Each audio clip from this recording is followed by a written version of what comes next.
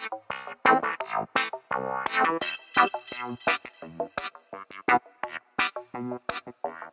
the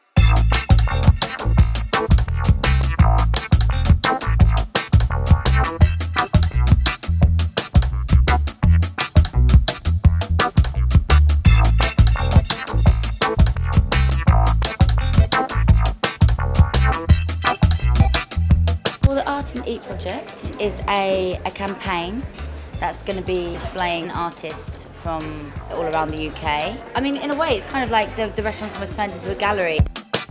I think it's like 170,000 people will be seeing these one-off pieces of art. It's an amazing exposure for such up-and-coming artists. I think the one thing with artists, it's always really difficult to make that connection and, and how they can reach a new audience, and this is fantastic for that. So even just from the placements to the work in, in, in the restaurants. I was commissioned to paint three paintings, to do three works for the Spitalfields restaurant. And I was thinking about the area and the east of London, and it's very gritty. So it was, I wanted to, to put three individual pieces that people can look at and, and give an opinion on. I've never seen them put artists down on the table mats like they have now, which is um, really cool. It will draw more attention than if it were just up on the walls. All this kind of stuff all around, I've had a bit of a look, but Remy and Holly, particularly cool, I think.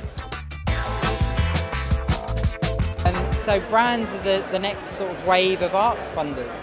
Um, so doing something like that, I think, you know, it's, it's a really good look because going to the Arts Council, there's nothing there. You know, the, they're the only way you're going to get projects off the ground and get your kind of notoriety out of being an artist. The mural I did in the South Bank restaurant is, is pretty big. It's about three and a half, four meters high, and about six meters long. It's quite abstract, but it's kind of quite graphic at the same time. So basically the launch today starts from the 29th of September and it goes through to uh, mid-November. And another side of it that's going to be really interesting and fun is that all these diners are going to be able to go on once they've come out of the restaurant and gone home and go online and comment and leave their comments on our work. People that will never have had access before, and it's going to be really interesting. I'm really intrigued, obviously, to see what these people are going to be saying about my work and the other artists as well. It's a really different movement and it's um, something I'm proud of and something the artists should be proud of to be a part of.